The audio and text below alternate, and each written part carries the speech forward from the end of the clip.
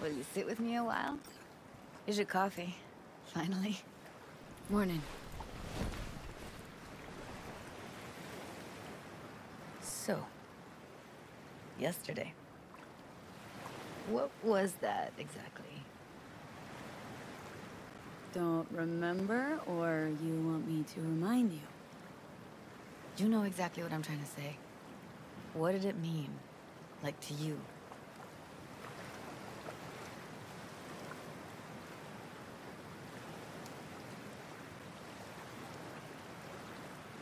Think it was the same for you and me both.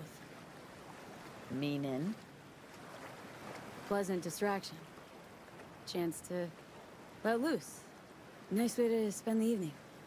Releasing tension. Right. Of course. H hang on, that, that didn't come out quite right. Meant what you said, V. Don't pretend like you could take it back. Judy, sorry. Thought you felt the same way. You thought one thing, I thought another. Crossed wires, it happens. Let's not make this longer than it needs to be. See ya, V.